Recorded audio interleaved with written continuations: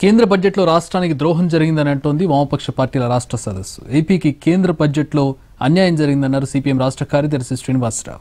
ఈ నెల ఇరవై ఒకటిన విశాఖకు వస్తున్న ప్రధాని మోడీ విశాఖ రైల్వే జోన్ ప్రత్యేక హోదాల మీద ప్రకటనలు చేయాలన్నారు. స్టీల్ ప్లాంట్ ప్రైవేటీకరించబోమని హామీ ఇవ్వాలని డిమాండ్ చేశారు.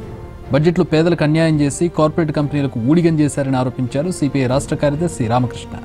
రైతులకు అందే నిధుల్లో కోత విధించారు. ఏపీకి తీవ్రంగా అన్యాయం చేశారని మండిపడ్డారు. కేంద్ర బడ్జెట్లో ఆంధ్రప్రదేశ్కి తల తీరని అన్యాయం జరిగింది.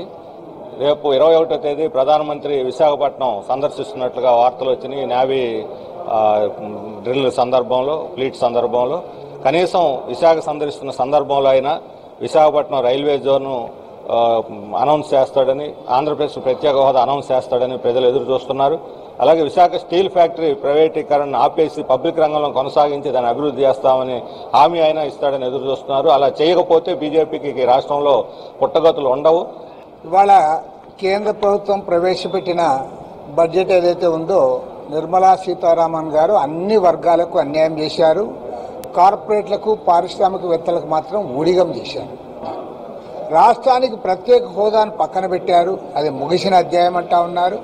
అదేవిధంగా కడప స్టీల్ ఫ్యాక్టరీ విషయంలో కానీ లేదా వెనుకబడిన ఉత్తరాంధ్ర రాయలసీమకు నిధుల కేటాయింపు విషయంలో కానీ రామాయపట్నం పోర్టు విషయంలో కానీ చివరికి రెండు వేల పంతొమ్మిదిలో పీయూష్ గోయల్ గారు కేంద్ర రైల్వే శాఖ మంత్రి ప్రకటించిన విశాఖ రైల్వే జోన్కు కూడా వారు సక్రమంగా నిధులు ఇవ్వలేదంటే ఈ ప్రభుత్వము ముఖ్యంగా కార్పొరేట్ ఉడిగం చేస్తూ ఇవాళ